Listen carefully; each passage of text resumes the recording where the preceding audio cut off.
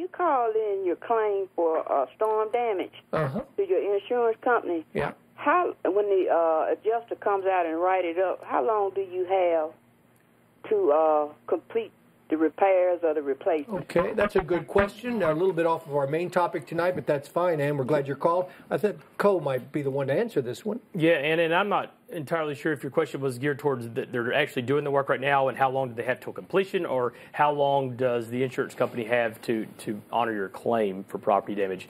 Um, well, if it's the latter, uh, you got six years. It's going to be a breach of contract claim because it's with your insurance company. Uh, I really hope that it's not going to be that long. Um, if it has been, uh, go see an attorney and, talk to them. We do a lot of pro bono work on this kind of stuff all the time. Be happy to, to look at it. You know, some of these times it just takes a letter to your insurance company to get them in gear to try to do what's right, and that's to, to fix your house. I want to make sure I'm clear on this. Are you saying they legally, by law, have six years to make the repairs? No, not not to make the repairs, but to make the claim. So if they do not complete the repairs, I'm sorry, I may have misphrased Okay. that. They, if they do not complete the repair, or they she makes a claim, Yeah. she has six years in which to file To lawsuit. go back. Yeah, It's- that's six years Uh, for her, not for the insurance. a lot of the policies are in there that, that give a deadline for when to deny claims. So if you make a claim, there's a lot of a lot of policies have 90 days, 120 days in which they make a decision. So if you haven't got a decision on it yet, you definitely need to get that uh, because that's all stated in the policy.